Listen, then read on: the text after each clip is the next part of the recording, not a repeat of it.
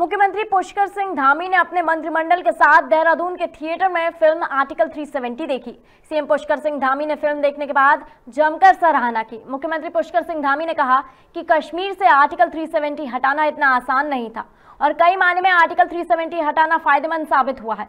उन्होंने कहा कि पीएम नरेंद्र मोदी के कुशल नेतृत्व से आर्टिकल 370 हटाना संभव हो पाया है। कश्मीर से आर्टिकल 370 हटाने में आई जटिलताओं को इस फ़िल्म में शानदार तरीके से प्रस्तुत किया गया है।